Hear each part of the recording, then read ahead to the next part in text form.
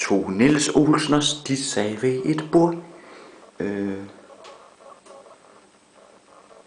skatteminister bum bum, de to med med nogle supersvamp. Spitte, spitte, bum, bum, bum.